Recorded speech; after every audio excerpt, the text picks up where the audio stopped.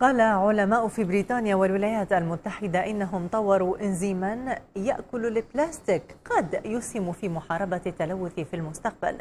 ويمكن للمنتجات البلاستيكية المصنوعة من هذه المادة البقاء لمئات السنين في البيئة وتلوث حاليا مساحات كبيرة من الأراضي والبحار في أنحاء العالم.